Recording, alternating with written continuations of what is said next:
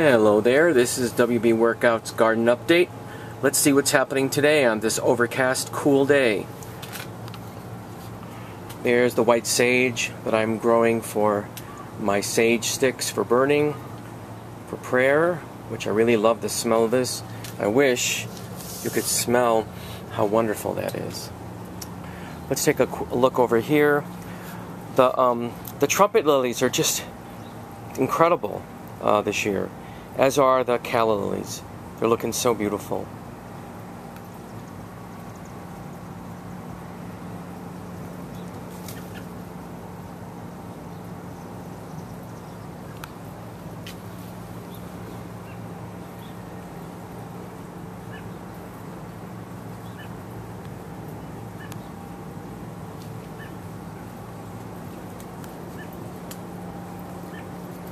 The coleus that I nurtured through the winter looks so beautiful now. Wonderful. Take a step back here and look around the garden. It's beautiful, so much color. Let's take a closer look.